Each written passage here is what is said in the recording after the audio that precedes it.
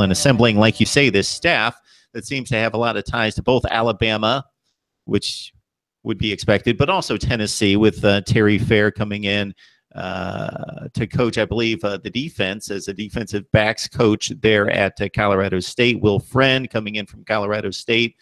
Uh, Jeremy Pruitt's uh, roommate there at Alabama, who played offensive line at Alabama.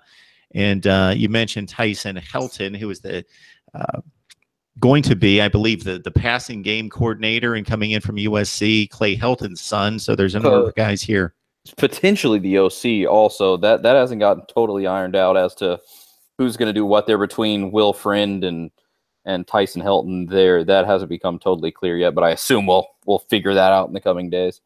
Yeah, I'm going by ESPN reports here. Kevin Sherrer. coming over from Georgia, most likely linebackers coach there could be coaching up the defense. Uh, Robert Gillespie on the staff already coaching the running backs. Seems like he's going to stick around. Chris Rumph coming over from Florida. So uh, taking a few uh, highly respected coaches from uh, SEC Eastern Division rivals as well.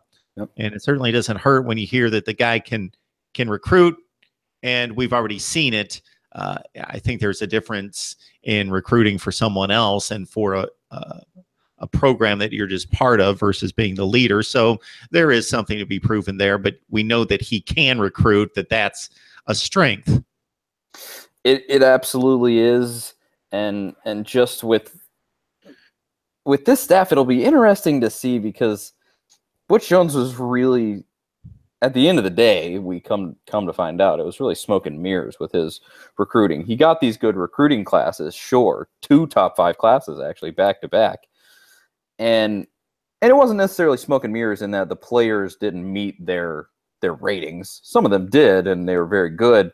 Uh, but things would just happen where, like, uh, I, I think the final count was like 36 players over the four years, four or five recruiting classes. Butch Jones put in, I guess, five recruiting classes. 36 kids left Tennessee out of those recruiting classes. So he would lose a ton of the talent that he got in. And then, of course, he had development problems with the guys that he was actually able to convince to stay at Tennessee. And and when everything was said and done, really those recruiting classes just turned out to be a, a lot of not because of how they were handled uh, by Butch Jones. So I'll be very interested to see because, like you were saying, these guys – are elite recruiters and not Butch Jones kind of elite recruiters, real elite recruiters. And I want to see what what they can do if they get these five star kids, these four star kids, how they handle them. Because I, the biggest learning curve to me is is, and I think it's pretty obvious. Obvious is Jeremy Pruitt as a head coach. He has no head coaching experience at the high school or the college level either. Um, and so that's going to be interesting to see how it's handled between him and this staff